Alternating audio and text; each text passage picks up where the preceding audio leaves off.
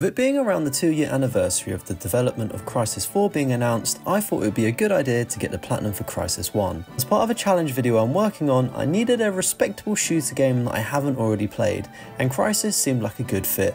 And it was free on PlayStation Plus. So this game is rated a 3 out of 10 on PlayStation profiles, takes one playthrough, and is also estimated at 10 hours. But for a Call of Duty professional like me, this should probably be a cakewalk right? Even the game said so. Yeah, this will be a cakewalk. Seem to see. Oh, for fuck's sake. Jeez. Oh, sugar, sugar, sugar, sugar, sugar, sugar, sugar. Oh, what the But before you sit back and relax on my Crysis Platinum journey, please consider liking the video and subscribing. So this trophy list consists of 41 trophies and can be sectioned into a couple of main categories, the overall story and chapter based trophies, and then chapter specific and miscellaneous trophies. It's a fairly easy trophy list to follow with no obvious missable trophies besides completing the side quests. To ensure we achieve all achievements in one playthrough, I needed to complete the game on the hardest difficulty, this being Delta. For completing specific missions and ultimately the game on this difficulty, we will unlock multiple trophies throughout the course of our playthrough. To start things off, we are introduced to our squad and playable character Nomad. After our mission briefing, we jumped out of an aeroplane into chapter 1. After reminiscing about playing the game as a kid, So I remember playing this kid. This kid? What do you mean by that? I remember playing this game as a kid. we were then interrupted by a faulty parachute and splattered to what I thought was our death. Luckily, I packed a nanosuit and not a spare parachute. After being marooned on the beach for some time, I made friends with one of the locals and earned my first trophy, zoology. That's for picking up an animal. I do not condone the throwing of animals for any trophies. Oh, Shortly after this, we encountered our first enemies. oh.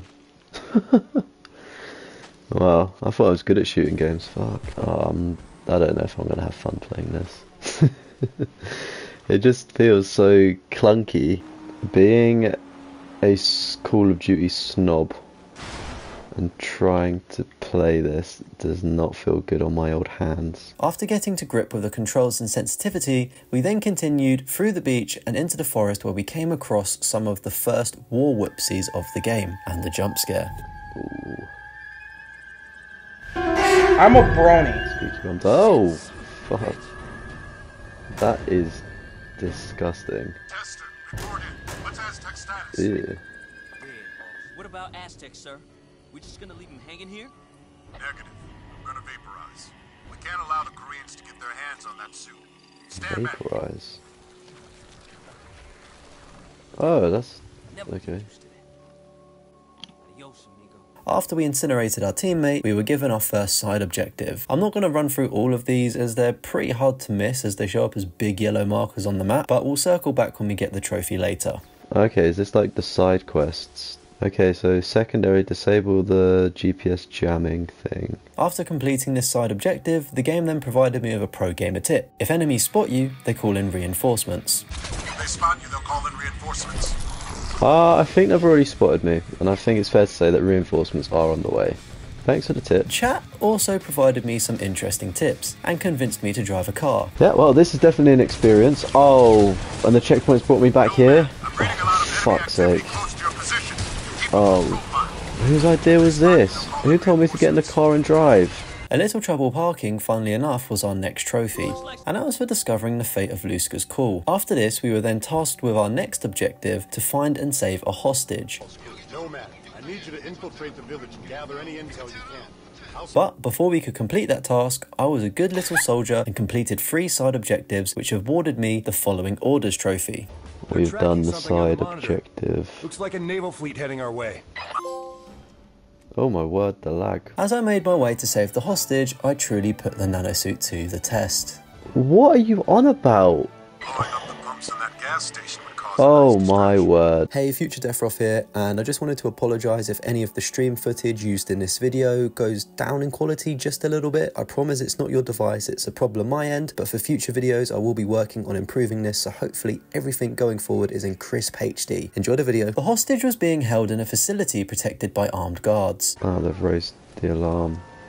And the noob I am, I also activated the alarm for reinforcements. This is not good, this is not good, this is not good. Eventually, after clearing all of the buildings and guards, I could then save the hostage for the Easy Darling trophy. Prophet, we've located one of the archaeologists. This trophy provided a vital landmark for me. So we're one hour down, so thankfully there's only nine more left. I only had 9 more hours of this hell to endure. We then needed to regroup with Prophet, the only issue being there were some tanks in the way.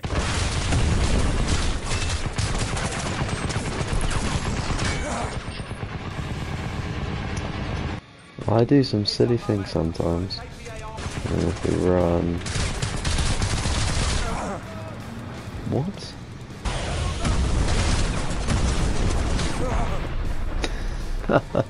And then also something much worse than a tank. Oh, so I think the game has crashed. Oh, really? After these messages, we'll be right back. I did continue playing, however, after resetting my game, but for some reason my stream never reconnected to the internet. But here are the trophies that I did earn and a short recap. I managed to defeat the tanks and I met with Prophet upriver for the You Knew, Didn't You trophy. We then investigated the excavation site earning very strange readings. I then sprinted 3 kilometers for the Marathon Man trophy, and I just have to say, as a runner, this trophy is kind of frustrating. 3 kilometers is 1.8 miles, and a marathon is around 26.2 miles. So, yeah, with that said, I decided to end the stream and head out on a 3 kilometer marathon. In the next stream, I observed 30 enemies with binoculars for the Keen Observer trophy. Just up the river a tad was the extraction point that we needed to secure. Oh, Alright, this is this is cheeky. Why have they got cloaked stuff? This this this wasn't this this. What this? They. After many failed attempts, I finally found a strategy that seemed to work. It involved rushing to the left side of the map, taking out the guards there, taking their sniper rifle, and then camping or picking off the remaining guards. Sounds like your average Call of Duty lobby, right? Right, is that it? That felt a bit too easy. Oh my goodness! Oh my goodness! Oh my goodness! Run! Run! Run! Run! Run! I think there's two, you know. Whoa! What the? F What's going on here? Let's not take the piss here. Why is this so hard? I've I've I've played Call of Duty World at War on veteran difficulty on the Nintendo Wii. Surely. And eventually the chopper arrived, saving us and awarding the Living Up to Your Name trophy. And that was Act 1 completed. This also gave me the Delta Axe trophy. To start off Act 2, we were dropped into a hot zone where our team was being ploughed just like I was doing your mum last night. We made it towards Lieutenant Bradley and I also questioned why we were even here. This game is just so chaotic. I don't even know what what we're uh, fighting for. I completely forgot. Bradley then instructed us that we needed to destroy some AA guns so our forces could push ahead. Whee! To do so, I advanced down the beach and proved why I should be in FaZe. Oh, did you see that? Get me into FaZe immediately. Oh, jeez. We then destroyed the first AA gun, causing an enemy chopper to spawn, which I just gave the slip. Just gave him the slip. Let's just move and then go down. See? Wasn't difficult. They're all that. Come on now. How smart is that? Helicopter, no problem. I then destroyed the second AA gun, but was made aware that a third one also needed to now be destroyed. Nomad, there's another artillery unit inside the harbour. Take that Oh. out and we'll oh. call in air support. You're fucking kidding me, aren't you?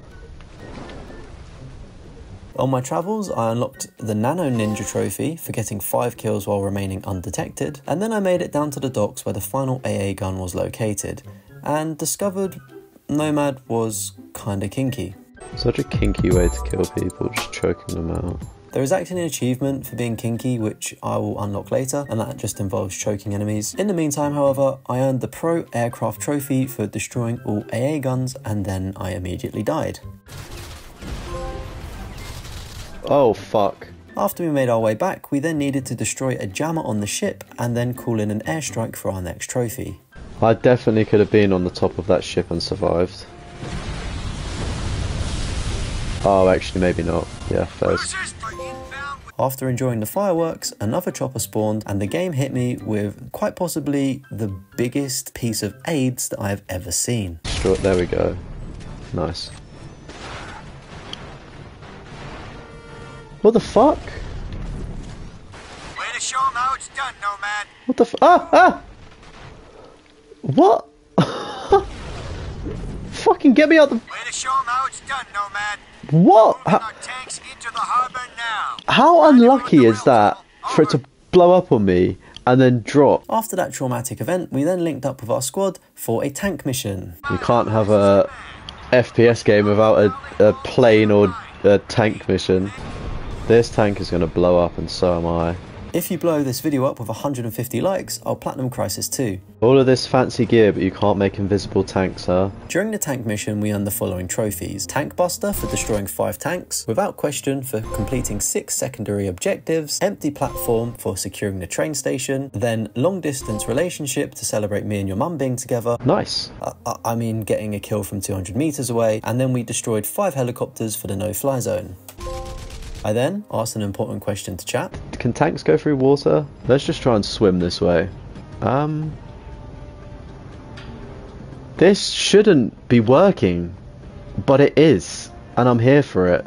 We've got a submarine tank. I'm sure there's got to be a better name for that, but oh my word. This game continues to amaze me. And to celebrate my important discovery of waterproof tanks, I killed 200 enemies for the Special Forces trophy. But before I could reach the end of the mission, I had a quick battle with our friend Physics. We'll give it one last college try, and if not, then. Can you get out of the tank? Shock. And I can't believe, chat, that nobody has suggested me to get out. I finally reached the end of the mission with the same tank that we started in to earn the Careful Owner trophy. Not long after, we then discovered a mining complex for a trophy, and then our next main mission was to locate and save more hostages. Along the way, we noticed some strange things. Take my hand, and you will see a world of imagination. No, no, not that strange thing, the alien structure. Oh my god, look, look at all this. I then completed all side objectives for the Perfect Soldier trophy and also modified our gun with all five slots to unlock This Is My Rifle. After some time, I continued my assault and also my application for FaZe. Oh my word, did you see that body just get yeet? Ah, why was I admiring my creation? Finally, I made it into the mines for the Going Underground trophy. We continued hunting for some diamonds in the mine, but was rudely interrupted and forced into a boss battle with what I can only say is the Joker from this laughing track. After defeating the boss, I was awarded a trophy Okay, so we've done that twice now, so surely third time is the charm.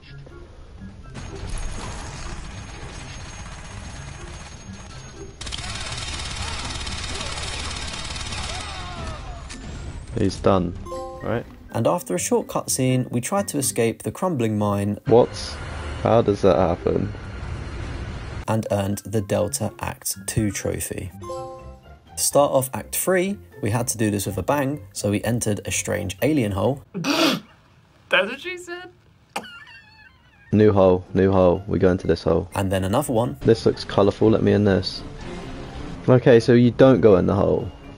Let me in hole, please. The aliens did not appear to enjoy me entering their base and proceeded to attack me. They can't be that squishy, man. They cannot be that squishy. I then got extremely confused over a door mechanic for about 15 minutes. I honestly have no idea on what this game requires you to do. Oh.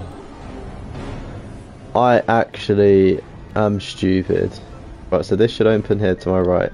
Is it going to open? It's going to open? Okay, it does open.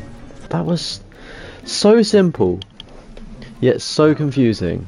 Oh man, I'm not one for puzzles in games, unless it's a puzzle game because then you know what you're getting in for, like you've signed up for that. But that just was not clear, or to me anyway, that just wasn't clear on what was opening. I thought it was the the shaft thingy. What? Bro, what are you talking about, man? Tell me what to do, game. We then saw some big mummy aliens,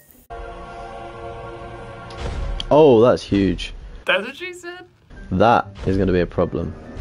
Then there was the final holdout section while the doors charged up. I was super confused by the lack of instructions and waypoints. I finally charged the doors expecting a checkpoint to happen, but then I goobered it. Oh, okay, so I did need to defend myself. What? On my next attempt, I found the correct door and escaped, earning the I'm not coming home trophy. Okay, we've completed it. Now, where do we go? Is it through here? Let's just guess it's through here. Is it through here? Please be through here. Being English, I'm used to it not coming home.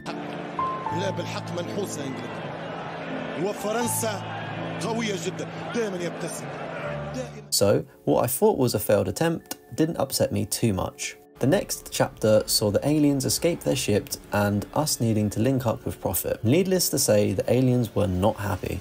But these the things we were fighting before, are they different? These look like the bigger ones.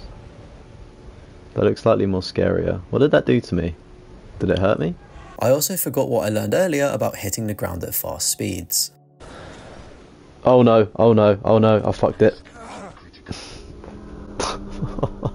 We found Prophet, but his suit was having some performance issues, just like me of your mum. I mean, what? And we needed to escort him. Prophet gave us a new weapon, which unlocked the trophy for getting a kill with every firearm, and then subsequently, after running to the end of the mission, I'm, I- I mean, escorting Prophet to safety, we unlocked another trophy. We just keep running, that will solve all of our problems, right? Run away from them. Despite the cost of living crisis in England, I then placed an order for some food. Penguin salad, turkey sandwich, chef salad, fish and chips, roasted chicken. It's quite cheap food. We then had another holdout section which took us down a mountain into the jungle where a friendly aircraft has crashed and we needed to perform a rescue mission. It's alright, I'm on my way with my snowball gun, don't you worry. I somehow glitched myself into the vehicle that needed rescuing, thus making me the rescue mission. Oh no, it's. It's glitched me inside. Oh no. Oh no! This wasn't meant to happen. Wait, I'm so confused. I shouldn't have been in that. I was like, oh, let me just go in here to, to loot because that's what you do when someone's down in COD or whatever. You just loot the before you get the res. Why did it lock me inside? I, I definitely shouldn't be inside, should I?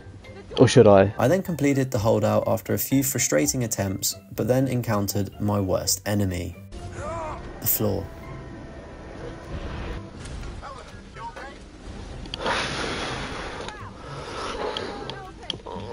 My goodness. What even killed me? The floor. I Said to myself, you'll stop playing games where the platinums aren't fun. Next hit, surely. Next hit, surely. Next hit, surely. Next hit, short. There we go. So we got to this point last time. We got the music, we got the cutscene, or the uh, cutscene music, and then I randomly died. Like I, I think it's because I maybe went into the fire. I'm not too sure. Yep. Men in uh, men in children first, women in children first. Am I right? After some frustrating tries, I finally cleared the skies and then had to complete another holdout section. This area wasn't as bad though. After holding off the aliens for some time, we escaped with the Marines and we got our next trophy. How are we escaping this? How are we escaping this, please? Oh, it just decided to stop shooting at us. Oh, how convenient. I then had the pleasure of a helicopter mission. This was, for the most part, a cakewalk, if we ignore my poor piloting skills and also flying into trees. I don't even know what's happened. I'm not doing anything.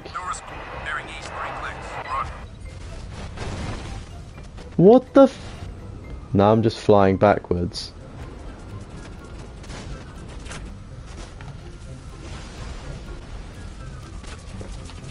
How is this occurring? How am I being put into a spin cycle? I don't understand.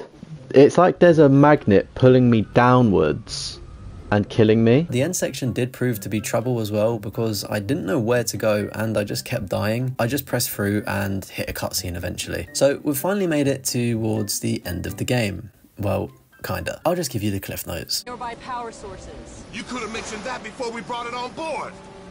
Nomad, the Admiral wants to see you down in CDC. That video feed you sent back's causing a bit of a stir. Better get down there. We had a debriefing with the main commander. With the USS Lexington. I want all non-critical personnel out of here right now. I'll be in the armory. Come find me when you're through with this asshole. We headed down to the medical bay and jumped into what I could only call the Animus from Assassin's Creed. We then got our suit checked and upgraded. The scientist we saved from earlier had an idea for an anti-alien nuke gun. Tactical nuke incoming! There is a projectile tactical nuke. Works like a grenade launcher, but with a lot more bang for your buck. Whatever will they think of next? Can I try it out? no. I think we're done here, Lieutenant. I'll leave it to Dr. Rosenthal to fine-tune your transmitter. Thanks, Doc.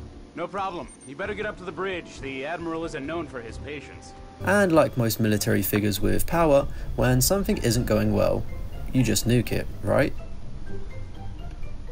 Surely we'd need to be further away, no?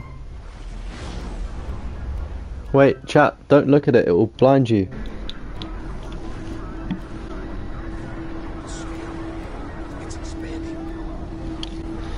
I definitely would be blinded by the nuke. but it's the thought that counts. Unfortunately, that didn't work, and now the ship was under attack. After a lengthy defense of the lower decks, we worked our way back up to the top to fight a big thing. I, I, I, don't know what it's called. Again, like most of the missions and boss fights, there wasn't any obvious guidance on how to win. Oh, this isn't good because the. Oh, I need to get the gun from.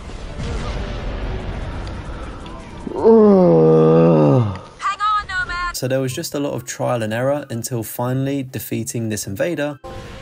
Oh, here we go. Nice. Got it. And I was ready to celebrate until. Not without my help. Whoa, what's that? That's. Jeez, uh, where do I go? So I thought the first boss was hard, but this second boss was so much worse. Again, I didn't know where to shoot, there were smaller enemies spawning, sometimes my shooting would just be blocked by a red X, and also the most fearsome enemy of them all, the game crashing. Oh man, keep him off our tail! My game has crashed. What? Nah, I never knew that. So I came back the next day to stream in a better mood in the hopes of finishing the game. While there were no crashes thankfully, I did die. A lot. Nah, this is this is this is tough. This is tough. This is tough. And again, I came into this weird bug where it wouldn't let me shoot my gun at certain angles, which ultimately led to my death a lot of times. Look, I can't fire my gun. I can't fire my gun. Like how how I can't fire my gun. Like I was seeing more red X's than Simon Gibbs on Britain's Got Talent. I'm too sexy for my Mac. Too sexy for my Mac. It's going to leave me. got the red X again for not letting me shoot. But after finally persevering and battling some more, I finally made it to a checkpoint in the final phase. I love games that don't tell me what to do. I don't understand how I'm how I just got a checkpoint there and I really don't want a checkpoint there. I then secured my first victory royale. But it wasn't over yet. At the Oh there's more! What on earth? Oh no. Oh no. I still needed to escape to the chopper. The, oh wait, okay, okay. I'm coming, I'm coming, I'm coming. That's what she said. Run, run, run, run, run, run, run. I'm on my way.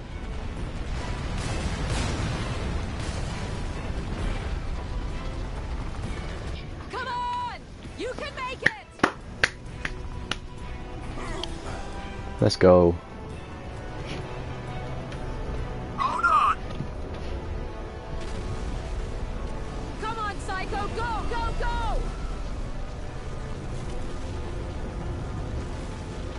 We then watched an alien combust in the water and headed out to Prophet on the island, I assume. Wait, what?